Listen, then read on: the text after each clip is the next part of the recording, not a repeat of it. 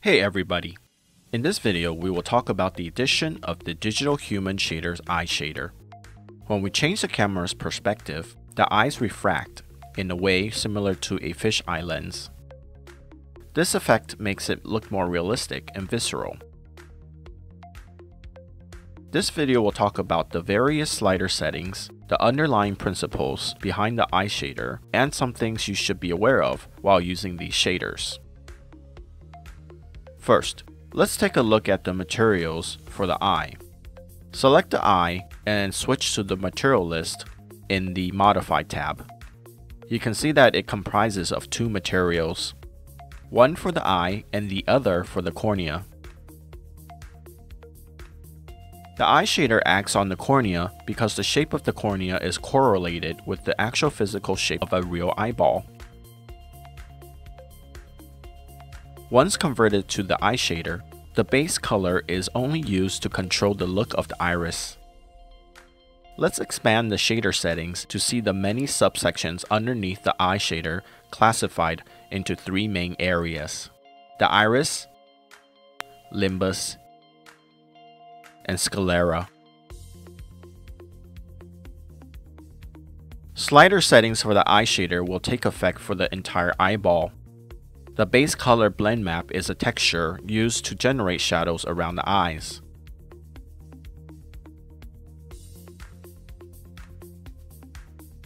The base color blend map strength is used to control the strength of this texture.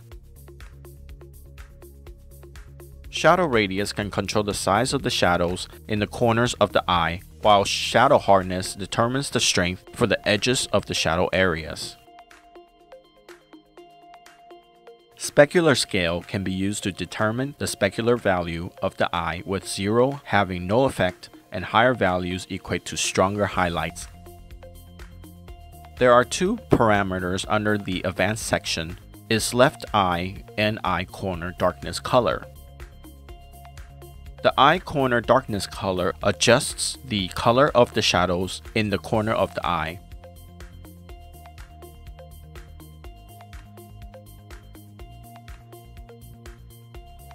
Is left eye is specifically designed to make the left and right eyes look different. It is used to flip scleras, diffuse and normal map vertically and horizontally. Let's use the sclera map as an example and focus on the blood vessels in the lower right corner of the map. After activating is left eye, the blood vessels will move to the upper right corner. So if I now uncheck this parameter for the left eye, both sides of the sclera will look the same.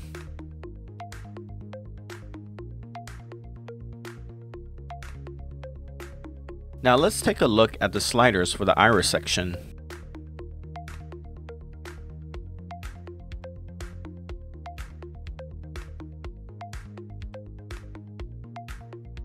The iris depth scale is used to control the fitting of the iris on the central convex surface of the eye, 0 being fully retracted while 1 is fully protruded and completely convex. The iris normal controls the surface details, much like a bump channel.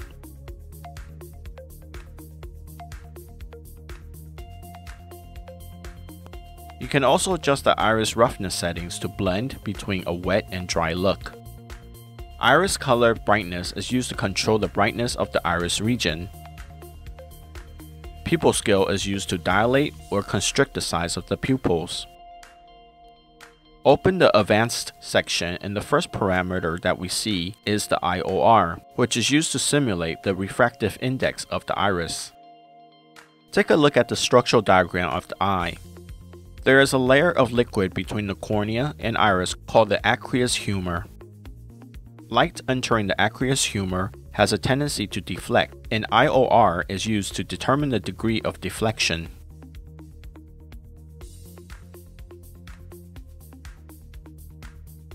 Iris cloudy color can be used to apply a layer of coloring on top of the iris.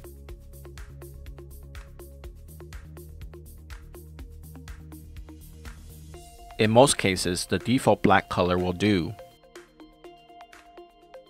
The inner iris color is used to dye the iris itself, giving it more variation. The inner iris scale is used to control the size of the inner iris mask.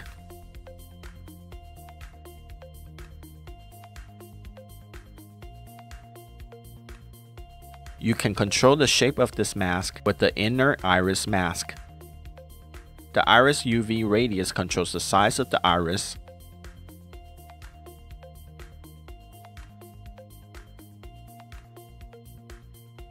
While the iris color has influence outside of the range of the inner iris mask.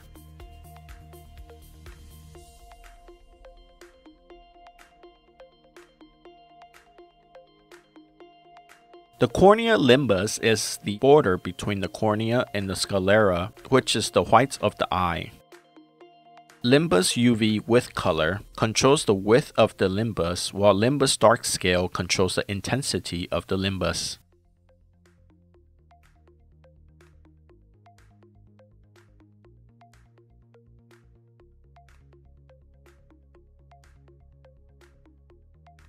The sclera subsection can be used to adjust the eye whites, including the brightness, roughness, normal, and normal size.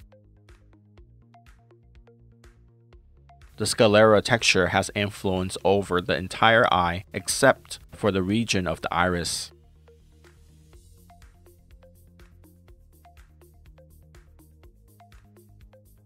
Sclera brightness can be used to adjust the intensity of the brightness. Sclera roughness can be used to make this region look dry or wet. While sclera flatten normal controls the normal intensity. Sclera normal UV scale controls the amount of tiling for the normal texture. Lesser scale equates to less tiling and vice versa. When the sclera normal map is changed, the normal effect is changed as well.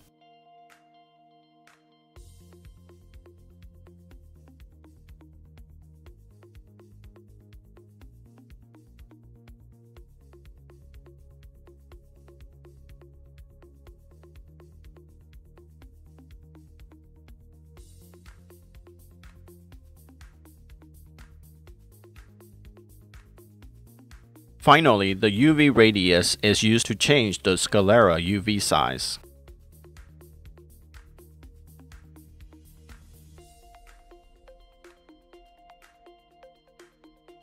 Oftentimes, only one side of the eyes is adjusted. If you want to copy the adjusted result to the other eye, you can use the material picker and paint bucket tool above the material list.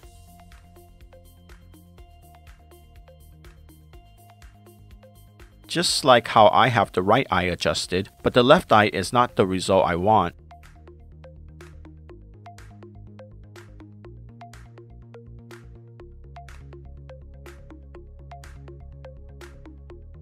At this time, I can use the pick material tool on the right eye, and then use the paint bucket material tool on the left eye.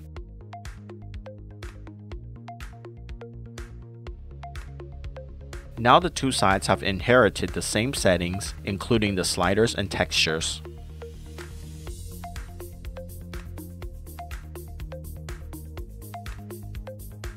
I hope you have learned a lot. Make sure to check out our forums at forum.reallusion.com and I hope to see you on the next video.